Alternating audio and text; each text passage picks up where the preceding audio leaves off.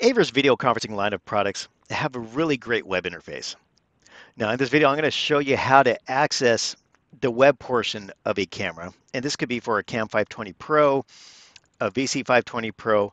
In this instance, I'm going to use the PTZ app to manage a VC 520 Pro from the USB side and access the web interface so you can manage it later on.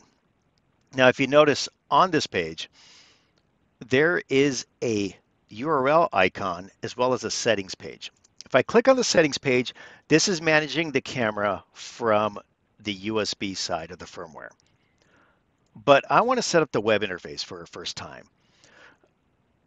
When I click on the gear, I mean on the URL icon, I'm taken to the web page on another tab of the browser. The default password is aver4321 lowercase. As soon as I enter that in, it'll ask me to establish a new username and password.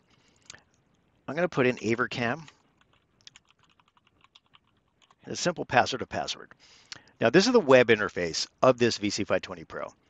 My recommendation, as soon as you are into this page, go to the system and establish the date to be in line from where the conference system is going to reside. I'm actually going to use